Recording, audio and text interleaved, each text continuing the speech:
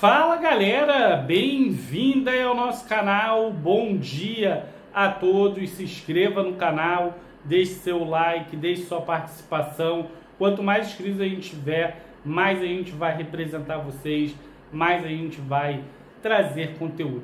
Me segue lá no Instagram, Diego Leonardo Gonçalves, lá eu coloco vocês em grupos de WhatsApp do Canal de Fogo e grupos de WhatsApp do Botafogo. Vamos falar sobre um assunto importante, né, que é relacionado a quem vai ser o novo treinador do Botafogo. Ontem surgiu dois nomes, a gente vai trazer um vídeo agora falando desse primeiro nome e depois a gente volta falando sobre o outro nome que surgiu.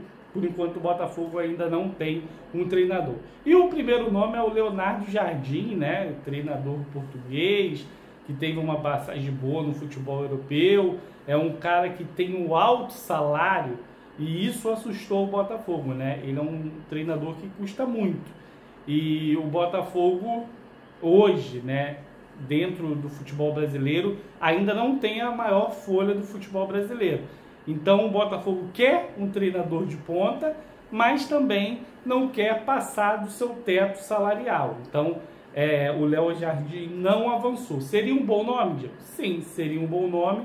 Um treinador experiente, um treinador que viria é, para trazer esse lado que o Botafogo não tem, né? Que é jogadores que estão ali jogando e são intocáveis, né? Porque o cara que já vem do futebol brasileiro, ele já vem com a cabeça muito formada que o Tiquinho é o melhor, que o Eduardo é o melhor e não acompanha só o treinamento, fala tentar tirar o máximo dos outros jogadores.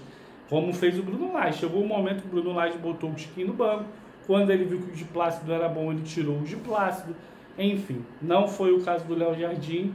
E a gente quer quero saber se vocês têm algum outro nome e a gente vai trazer aqui nos próximos vídeos. Abraço!